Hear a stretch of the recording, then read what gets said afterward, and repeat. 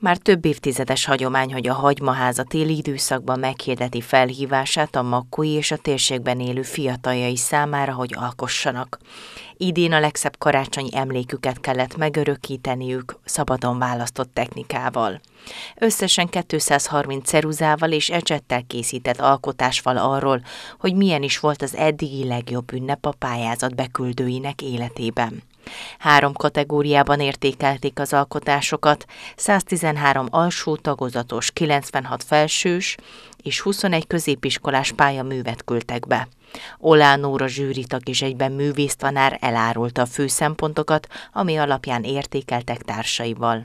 Egyrészt az, hogy a technikában, amit ő maga nyilván szabadon választhatott, abban mennyire mm, alaposan mélyült el, tehát például, hogyha egy filctolas technikát választott, akkor azt vigye végig következetesen, és ne hagyjon üres foltokat, de ugyanez elmondható a másik technika, mondjuk a zsírpréta, a színes ceruza vagy a festésbe.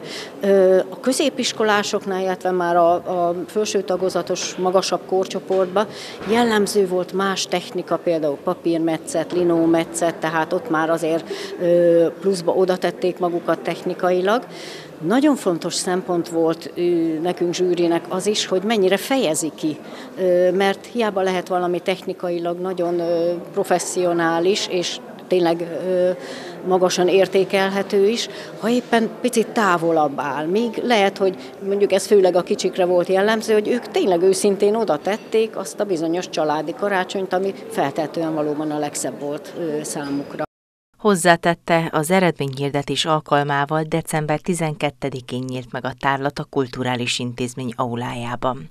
A díjkiosztó mintegy 27 általános és középiskolás diák vehette át könyvekből, művészeszközökből és édességből álló ajándékcsomagot. Pályázó intézmény volt többek között a Makói általános iskolák, a Magánzeneiskola és tagintézményei, a József Attila gimnázium és a Magyar Csanádi Református Általános Iskola és Óvoda. Ha valaki még nem látta az alkotásokat, de szeretné megtekinteni, az megteheti 2024. január 6-áig a hagymaház nyitvatartási idejében.